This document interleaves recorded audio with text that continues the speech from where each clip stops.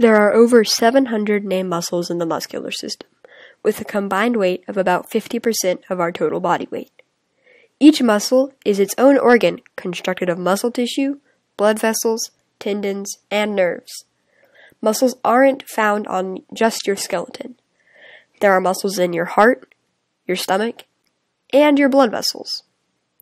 The muscular system serves four purposes, which are first, movement of the human body, which means doing every movement we do consciously from eating to writing to sports. Two, movement of substances throughout the body, meaning moving blood throughout our blood vessels and food throughout our digestive system. Third, posture and body position, how we sit versus how we stand.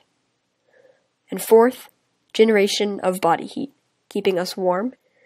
There are three types of muscles in the body visceral muscles, or the mu- muscles in our digestive systems and blood vessels, cardiac muscles, or the muscles in our hearts, and skeletal muscles, or the muscles on our skeletons. Let's start with visceral muscles. These are the muscles that are located in our stomach, intestines, and blood vessels. They are our weakest type of muscles, as they only have to move substances throughout the organism. Visceral muscles are involuntary, as they are controlled by the unconscious part of the brain. They're called smooth muscles because they appear, appear both smooth and uniform when inspected under a microscope. Next, we have cardiac muscles. These live in the heart and are responsible for pumping our blood throughout the heart. They, too, are involuntary, as they are controlled by the unconscious part of the brain. Our heart's natural pacemaker is cardiac muscle tissue that simulates other cardiac muscle systems on contact.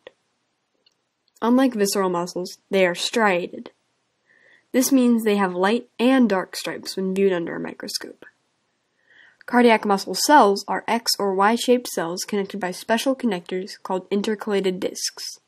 These are finger like projections that hang out from the two close cells and lock them together. The strength of the intercalated discs help them resist high blood pressures and the strain of pumping blood through the heart, and means that electrochemical signals can spread quickly through the heart so the heart pumps as a unit. Finally, we have skeletal muscles. These are the only voluntary muscles in the human body, and every physical action that a person consciously performs, for example, speaking, walking, or writing, requires skeletal muscle. Most skeletal muscles are attached to two bones, so they con- contract to move bones closer or farther away from one another. There are many diseases afflicting the muscles. However, the main three are 1. Muscular dystrophy, 2. Amyotrophic lateral sclerosis, and 3. Myasthenia gravis. First, we have muscular dystrophy. Muscular dystrophy is when a person's muscles are more susceptible to damage than they would normally be. This means that, over time, their muscles become weaker and weaker.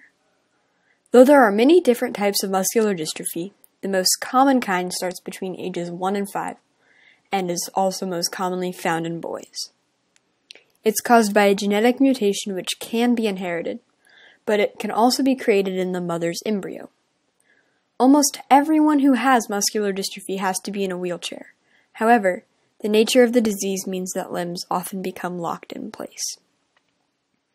Second, we've got amyotrophic lateral sclerosis, or ALS.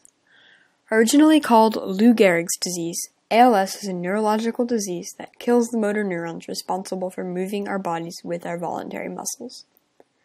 This disease is fatal, and we don't really know what causes it. ALS begins when one has difficulty with unimportant hand or arm motions, for example, the ability to button a shirt or take notes. Other symptoms include cramps, tight muscles, and muscle weakness. There aren't any cures for ALS. However, recently, the FDA approved the first drug designed to combat ALS. This drug, called Riluzole, helps slow the damage of mo- motor neurons, but it doesn't reverse the damage already done to motor neurons. Finally, we have myasthenia gravis. This is the weakness in the skeletal muscles in the body. It occurs when antibodies block the transmission between nerve and muscle at the neuromuscular junction, which is the place where nerve cells connect to the muscles they control. Though myasthenia gravis affects many voluntary muscles, it typically affects muscles that control eye and eyelid movement, facial expression, and swallowing. To maintain the health of your muscular system, you must eat the right foods. These include carbohydrates, which are stored in your muscles to use as energy, fats, which help the body produce testosterone, and proteins, which are the building blocks of muscles.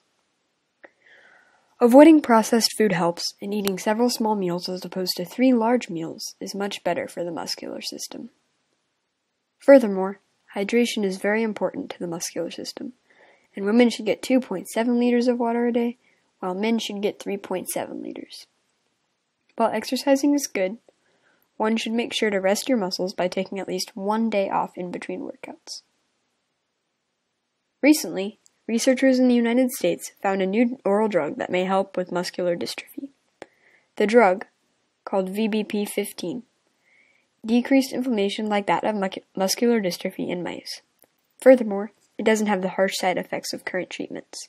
Therefore, VBP 15 is a viable option for muscular dystrophy patients at some point in the future.